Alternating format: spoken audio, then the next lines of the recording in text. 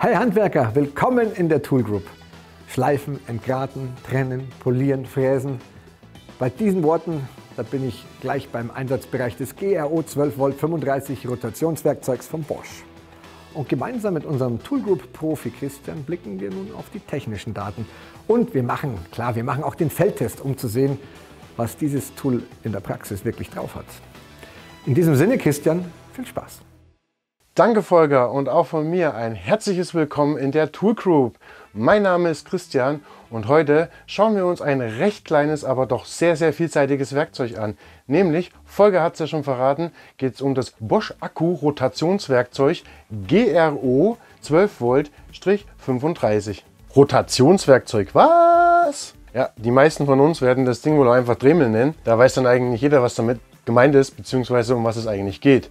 Was in dem Fall auch überhaupt nicht schlimm ist, denn Dremel gehört seit vielen Jahren zu Bosch und ist mittlerweile eine Marke der Robert Bosch Tool Corporation. Da es zu dem Gerät selbst eigentlich gar nicht so viel zu erzählen gibt, werden wir uns heute vor allem mit einer kleinen Auswahl von den unendlich vielen Zubehör und den entsprechenden Einsatzzwecken beschäftigen. Ja, was ja diese Vielseitigkeit von diesem Gerät ja überhaupt erst ausmacht. Und davon dann ein bisschen was in der Praxis ausprobieren, um letztlich vermutlich festzustellen, dass ein Dremel nicht nur für den Modellbauer sehr, sehr nützlich ist. Und wie so oft bei Bosch wird auch dieses Gerät einzeln oder in verschiedenen Set-Varianten angeboten. Dann schauen wir uns doch mal direkt das, ich nenne es mal gern, äh, rundum sorglos Paket an. Da ist nämlich alles dabei. Das kommt in einer L-Box, in der L-Box 102, also der kleinsten L-Box. Und da sind dann direkt die Anleitungen, einmal für den GRO selbst und dann noch für das Ladegerät was in dem Fall dabei ist. Es gibt natürlich auch noch entsprechende Akkus. In dem Fall sind es zwei 2 Ampere-Stunden Akkus. Der eine liegt hier hinten drin, der andere ist entweder am Gerät oder liegt hier drin. Und dann gibt es noch eine Zubehörbox. In dieser Zubehörbox befinden sich zunächst mal fünf Trennscheiben. Dann gibt es hier hinten noch einen Gabelschlüssel, wozu der ist. Dazu kommen wir später. Wozu die zwei Sachen sind, kommen wir auch später dazu.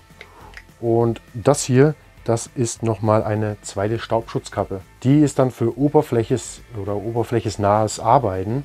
Die verläuft nämlich so konisch nach vorn, also nicht komisch, sondern konisch. Und da sehe ich einfach besser, was ich da vorne tue. Die ist aber aus hartem Kunststoff. Ne, nicht die, die andere, die zeige ich euch auch mal direkt, die schon an dem GRO dran ist. Die ist gummiert. Ja, die fühlt sich einfach ein bisschen ergonomischer an. Die hat hier ja auch so eine, so eine Wölbung. Da kann ich einfach ein bisschen besser greifen. Ja, und das zweite Set, das kommt dann auch in der L-Box. Da finden wir natürlich erstmal die Betriebsanleitung, äh, den GAO selbst und auch wieder die kleine Zubehörbox. In dem Fall sind jetzt keine Akkus und kein Ladegerät dabei, aber die Einlage, die ist hier schon enthalten.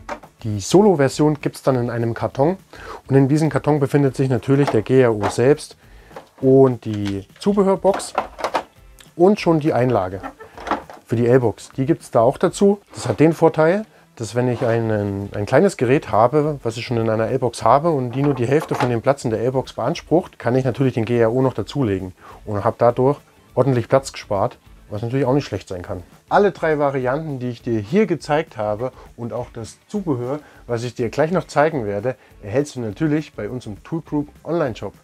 Die Links dazu findest du unten in der Videobeschreibung. Am Namen des GRO kann man ja schon erkennen, dass es sich um ein 12 Volt Gerät handelt. Und dass natürlich dann auch alle 12 Volt Akkus passen. Also zum einen der kleinste, das ist der 2 Ampere-Stunden Akku bis hin zu einem 6 Ampere-Stunden Akku. Der hat dann diesen Fuß. Ja, ich habe was gedacht, das ist ein bisschen ja, unhandlich dann, aber das ist gar nicht so schlimm. Also das geht wirklich ganz gut, auch mit diesem großen, ja, 2 und 6 Ampere, das ist das Dreifache des hält natürlich dann auch umso länger. Übrigens passen auch die richtigen Dremel, Dremel, also da wo Dremel auch draufsteht, die Akkus, die passen da auch rein und andersrum. Also das ist völlig kompatibel. Kommen wir dann auch gleich mal zum Gewicht. Das ist nämlich auch akkuabhängig. Habe ich nur die, also die kleinen, den Zweier und den Dreier drin, wiegt das ganze Gerät mit Akku ungefähr 650 Gramm. Habe ich dann den großen mit dem Fuß drin, wiegt es ungefähr 850 Gramm. Wie viel Saft der Akku noch hat, erkennt ihr an der Akkuladezustandsanzeige. Und die geht kurz an, wenn ihr das Gerät anschaltet. Und im besten Fall leuchten da drei grüne LEDs auf. Das bedeutet natürlich, dass der Akku voll ist. Bei zwei grünen LEDs hat der Akku noch 60 Prozent und bei einer grünen LED immerhin noch 30%. Prozent. Sollte das mal rot leuchten, dann stimmt irgendwas nicht. Also dann ist der Akku oder das Gerät entweder überlastet oder überhitzt. Der GRO hat einen integrierten Blockierschutz.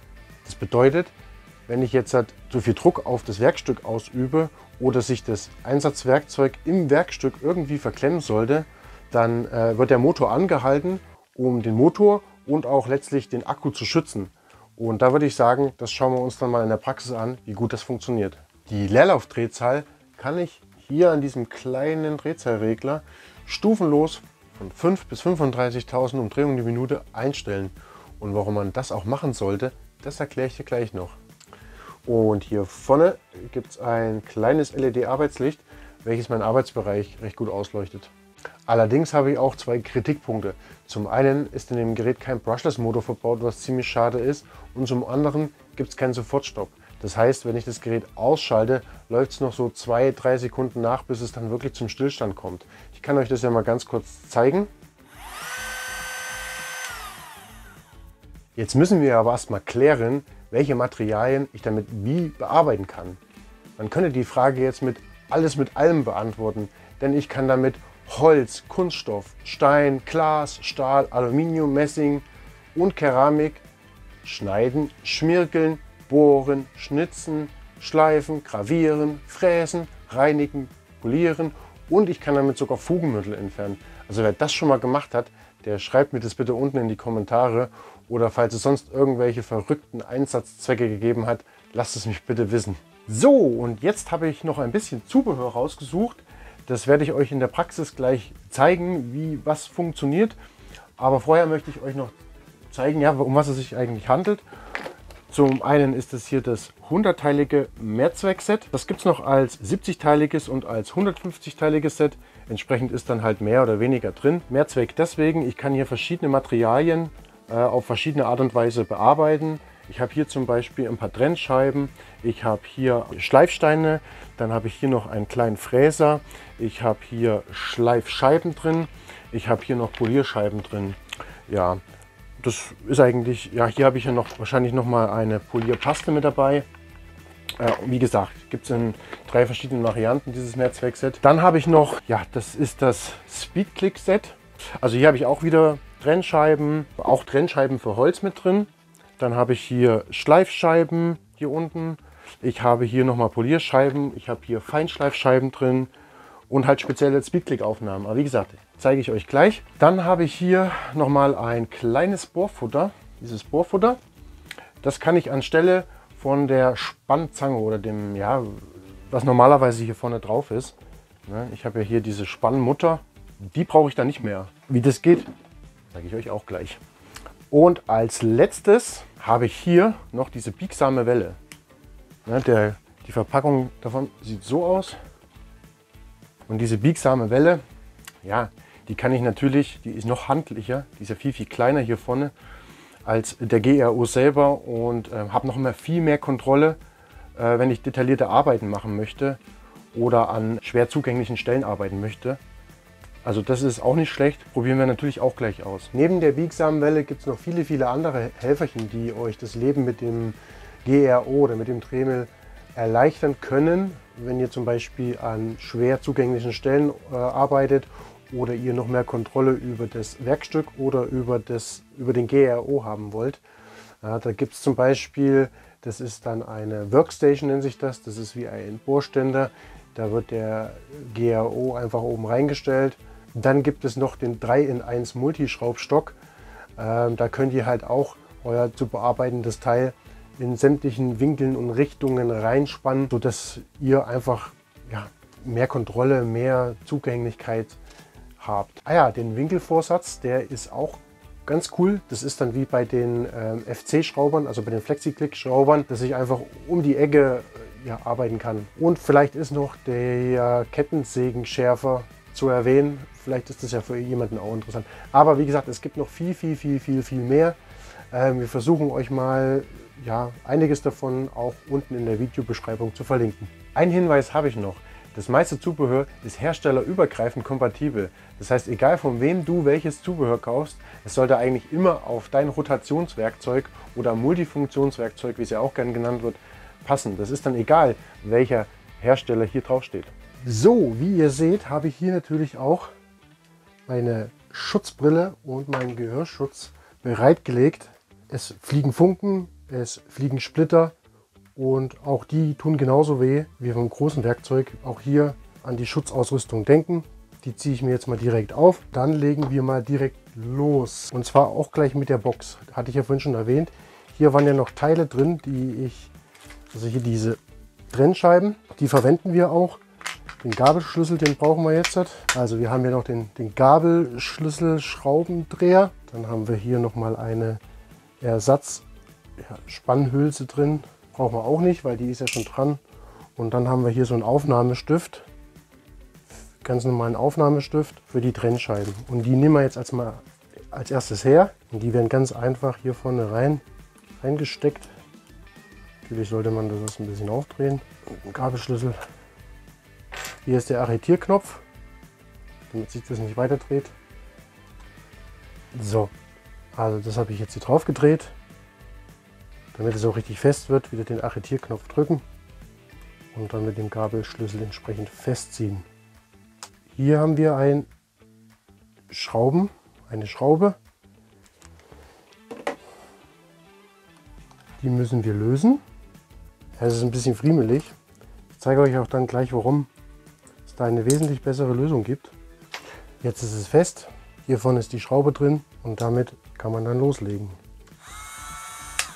Ich spanne jetzt einfach mal ein Reststück von einem HT-Rohr hier rein. Das rennen wir jetzt mal damit ab. Ich stelle jetzt hier Stufe, ja, Stufe 2 ein. Das sollte in dem Fall locker reichen. Los geht's!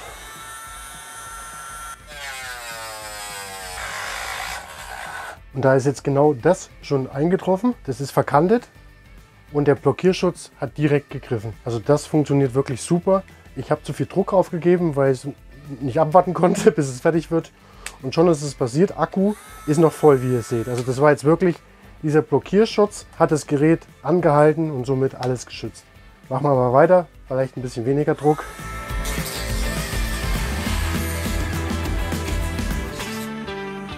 So. Ja, also das kann man schneiden damit. Äh, kann man wahrscheinlich auch noch ein bisschen besser machen. Stufe 2 habe ich jetzt geschnitten. Natürlich geht es auf Stufe 4 oder 5 oder sogar 6 noch schneller. Aber ich habe jetzt schon gemerkt, wie es das Riechen angefangen hat. Also das ist ein sehr, sehr weicher Werkstoff. Und umso schneller den man schneidet, ja, der, der, der fängt das, das, das Schmelzen an, das Glühen. Das, also die Stufe 2 ist schon völlig ausreichend. Mehr braucht man da gar nicht machen. Jetzt würde ich sagen, nehmen wir den mal raus und ich zeige euch mal eine wesentlich coolere Lösung. Also, wir nehmen jetzt mal aus diesem Set, das ist das hunderteilige Zubehörset, auch da ist nämlich schon eine Speed-Click-Aufnahme drin. Und ihr werdet sehen, das geht tausendmal schneller als das, was wir gerade hatten. Dazu braucht man natürlich auch spezielle Speed-Click-Scheiben. Ne, die haben hier diese Aufnahme. Da kann man dann nicht mehr die einfachen mit dem Loch nehmen in der Mitte. So, arretieren, festziehen. Und jetzt, das ist so genial, ziehe dieses Teil, ziehe ich zurück, schiebe es drüber, drehe es, lasse es los und schon ist es fest. Das ist natürlich wesentlich schneller. Jetzt kann ich hier auch wieder schneiden. Okay, lassen wir es mal gut sein. Das haben wir ja gerade schon gesehen, wie es geht. Und wir knöpfen uns das nächste Teil vor. Ein Stahl-C-Profil. Da können wir auf jeden Fall die gleiche Trennscheibe nehmen. Aber wir gehen hier auf eine wesentlich höhere Drehzahl. Hier können wir fast auf volle Luzi gehen. Also ich mache mal, ja, ich gehe erstmal auf die 5. Dann schauen wir mal, was passiert. Mal gucken, ob wir das Stückchen Stahl hier durchkriegen. Ich glaube, das ist 2 mm. Los geht's.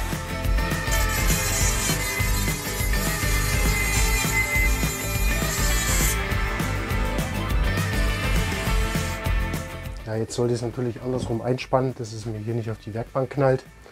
Aber ich glaube, man kann sehen, dass das recht gut funktioniert. Das ging auch einwandfrei. Und ich glaube, ihr habt gemerkt, warum jetzt diese Schutzbrille wichtig ist. Und vielleicht auch ein Gehörschutz. Das hat auch ganz schön Rabatz gemacht. Ich habe ja noch ein paar andere Sachen, damit wir gleich mal beim Stahl bleiben. Ich habe so ein richtig schönes verrostetes Stück Rundeisen, Rundstab. Also das tun wir jetzt mal wegmachen, den Rost. Ja, jetzt habe ich gerade festgestellt, dass was wir dazu brauchen, um diesen Rost zu entfernen, haben wir tatsächlich gar nicht in dem Set. Aber die wird es sicherlich in anderen Sets geben. Und das sind so kleine Drahtbürsten. Die sehen so aus. Und dann schrubben wir das ganze Ding mal. Ja, da würde ich auch nur auf die Stufe 2 gehen. Mehr brauchst du auch wieder nicht. Also los geht's.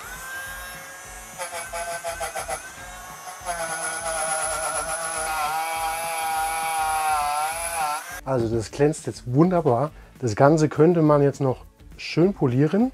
Zum Polieren gibt es dann diese Geschichten hier. Mit einer Polierpaste, dann wird es richtig schön glatt und glänzend. Der klassische Fall würde ich sagen, oder wozu ich das am meisten eigentlich brauche, ist, wenn ich den Schlitten von unseren Kindern fertig mache. Ja, wenn der über dem Sommer ordentlich Rost unten die Kufen angesetzt haben, dann mache ich meistens damit die Kufen wieder richtig schöne feine und dann kann es wieder losgehen auf der Piste. Nehmen wir uns das nächste. Ich habe jetzt hier ein tolles Reststück gefunden. Habe ich lauter Kreise rausgeschnitten. Optimal für unseren Versuch. Wenn sich diese Spannzange oder diese Spannmutter ein bisschen verklemmt, dann einfach mal ganz leicht auf eine Kante klopfen, sodass sich das wieder löst und dann ja, geht es auch ganz einfach wieder runter. Ich würde sagen, wir versuchen das, diese Kreise zu schleifen mit den ganz normalen äh, Schleifwalzen. Hier ist es auch schon vormontiert, das nehmen wir doch gleich. Und hier haben wir eins mit einer Schraube. Auch da gibt es eine schönere Lösung, den Speedclick. Also die, die Schraube hat den Effekt, dass wenn ich die anziehe, dann spannt es diesen Körper und letztlich dann die Schleifwalze. Okay, also jetzt wird es staubig. Aufgepasst. Jetzt habe ich ehrlich gesagt gar nicht auf die Umdrehung äh, geachtet, aber ich habe jetzt hier immer noch die 2 eingestellt und ich finde, das ist auch in dem Fall wieder völlig ausreichend. Mache ich das zu schnell, wird es wahrscheinlich zu Verbrennungen führen und ja, das wollen wir nicht. Von daher, ich kann mich natürlich auch immer langsam da hochtasten.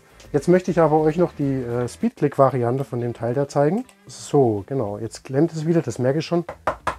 Da haue ich mal ganz kurz da drauf und dann löst sich das wieder. Hier, das ist jetzt das Speedclick-Set. Da gibt es nochmal so eine Aufnahme. Die ist ein bisschen anders. Die hat wieder keine Schraube. Ich spanne das erstmal ein, dann geht es nämlich einfacher zum Erklären. Einfach wieder reinstecken, festziehen, immer schön nochmal nachziehen kurz. So, und jetzt hat, kann mich nämlich das Ding hier vorziehen. Habt ihr es gesehen? So ist es jetzt drin und ich kann das hier vorziehen. Und wenn ich das vorgezogen habe, kann ich ganz entspannt diese Schleifhülse hier draufstecken, drücke die wieder runter und dann ist es richtig bombenfest da dran und brauche hier oben keine Schraube drehen, nichts. Das geht wieder richtig flott und kann direkt wieder...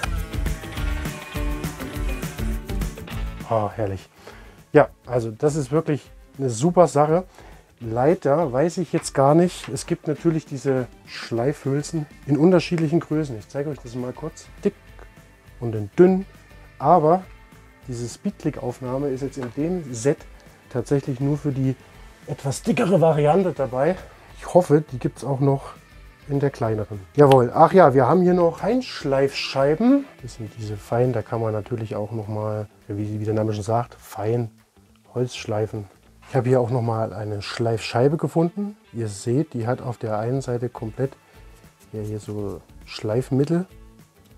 Und die kann ich dann wieder auf die Aufnahme drauf machen, wo ich vorhin die Trennscheibe drauf hatte. Und dann kann ich natürlich auch Flächen damit schleifen. Wisst ihr was, wir machen das schnell. Ich würde auch wieder Stufe 2, übertreibt es wirklich nicht. Ja, und schon kann ich damit auch eine Fläche. Das tun wir jetzt mal wieder raus. Hier habe ich ein ganz normales Kantholz, wieder ein Reststück. Hier möchte ich jetzt gern, ja wie so eine Art Falz, würde ich sagen, rausschneiden. Für diesen Falz, beziehungsweise für das Holz, gibt es äh, auch wieder eine spezielle Trennscheibe. Das ist diese hier. Mit der kann man auch wunderbar Holz schneiden. Das probieren wir jetzt. Genau, also wir haben jetzt hier die Holztrennscheibe auf der Speedclick-Aufnahme. Ich möchte jetzt hier ein Stück rausschneiden und hier können wir jetzt aber hochgehen. Also das ist äh, kein Problem. Da gehe ich wieder auf Stufe 5 irgendwo hin, kann auch Stufe 6. Ich fange immer lieber ein bisschen langsam an und steigere mich dann. Also los geht's.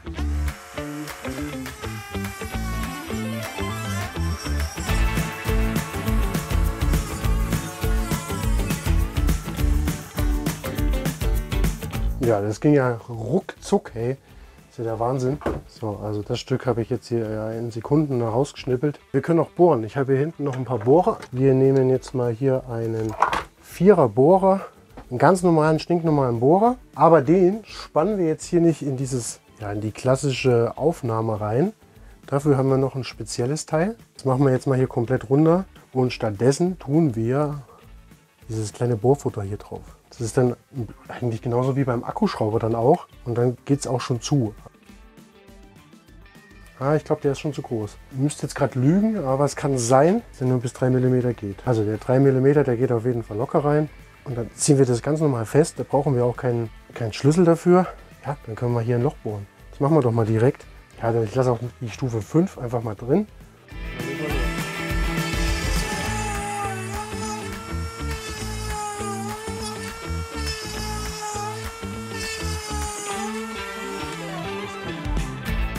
Geht wunderbar.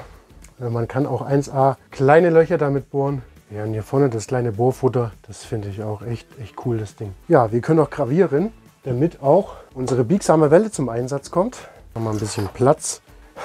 Und ich habe hier ein alten kaputtes Stück Tontopf gefunden. Ich glaube, ich spanne das einfach mal ein bisschen fest, damit mir das Ding hier auch nicht um die Ohren fliegt. Ups. Ja, und jetzt knallen wir die biegsame Welle da drauf. Das Profutter erstmal runter. Bei der biegsamen Welle ist hier eine kleine Mutter mit dabei. Die muss als erstes, wenn alles andere unten ist, muss die draufgesteckt werden. Oder draufgeschraubt, besser gesagt. Die Staubschutzkappe muss auch runter. Ich brauche das Gewinde. Genau, also wir stecken jetzt hier das Ende von der, von der Welle einfach hier rein und schrauben am besten den GRO drauf. Und andersrum wird es ein bisschen, naja, Okay, so dann sollte sich das hier schon mal drehen. Das tut es. Und davon können wir jetzt, was haben wir denn eigentlich zum Gravieren da? Das war in dem hunderteiligen Zubehörset, haben wir hier einen ganz kleinen Fräser. Genau, hier ist mein kleiner Fräser. Ja, wir machen das auch einfach auf dies, das kleine Bohrfutter drauf. Auch hier habe ich einen kleinen Arretierknopf, dass ich das natürlich richtig schön festziehen kann was es jetzt hoffentlich ist. Genau, jetzt ist der kleine Fräser auf dem Bohrfutter drauf.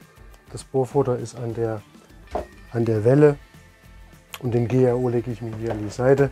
Und so habe ich jetzt nur noch wie ein Stift eigentlich hier dieses kleine Teil.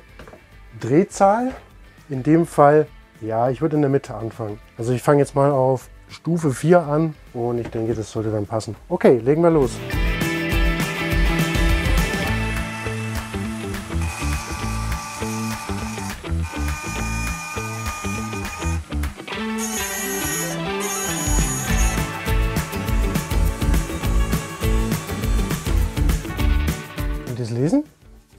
Zwar, ich habe in der Zwischenzeit, ich habe hochgeschalten, vielleicht hat man das gemerkt. Ich bin wirklich auf Stufe, ja, Stufe 5 dann gegangen. Ähm, vielleicht ist es jetzt auch nicht der optimale Fräser, muss ich gestehen. Das geht. Und es ist vor allem sehr, sehr handlich. Also durch diese, äh, durch diese biegsame Welle, das ist echt, echt top. So, und wenn sich jetzt der ein oder andere fragt, woher weiß der das? Welche Drehzahl er für welches Material, für welche Arbeit nimmt. Ich weiß ja nicht mehr, welches Zubehör ich für was nehmen soll. Äh, und die Betriebsanleitung, die hilft mir auch nicht weiter.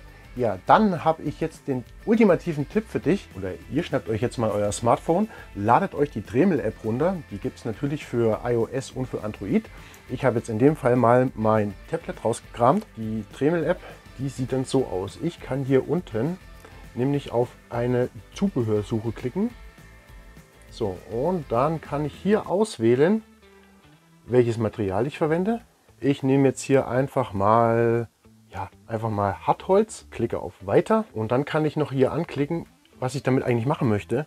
Und ich möchte das Hartholz möchte ich jetzt schleifen. Klicke auf Weiter, klicke auf die Zubehörsuche und dann wird mir natürlich schon das Zubehör angezeigt, was ich dafür verwenden kann. Und das ist echt genial. Also es geht aber noch weiter. Ich klicke jetzt hier auf diese Schleifbänder, Ergebnisse anzeigen und dann wird mir auch gleich gesagt, was ich mit diesen Schleifbändern noch für Materialien bearbeiten kann und welche Körnungen es gibt, welche verschiedenen Schleifbänder es gibt. Und hier unten, da wird mir auch die Drehzahl angezeigt. Und das das finde ich richtig genial. Das kann ich jedem nur empfehlen. Sich diese App runterzuladen und da einfach mal ein bisschen drin rumzustöbern und dann bekommt man auch ganz schnell ein Gefühl dafür, ja, welche, welches Zubehör ich für was nehme und wenn nicht, dann gucke ich halt nochmal rein. Tja, und damit sind wir auch schon am Ende mit unserer kleinen Dremel-Session. Ich denke, wir sind alle wesentlich schlauer jetzt ähm, und werden diesen kleinen Racker hier nicht mehr unterschätzen. Mir hat es auf jeden Fall irre viel Spaß gemacht. Ich hoffe, euch hat es auch gefallen. In diesem Sinne, vielen Dank fürs Zuschauen. Ich hoffe, bis zum nächsten Mal. Ich sage Servus und übergebe an Volker. Wow, danke vielmals Christian, sehr schön. Ein tolles Tool von Bosch, oder? Ich freue mich auf eure Kommentare hier unter diesem Video. Abonniert gerne unseren Kanal, damit ihr auch in Zukunft nichts verpasst. Lasst es euch gut gehen und join the group.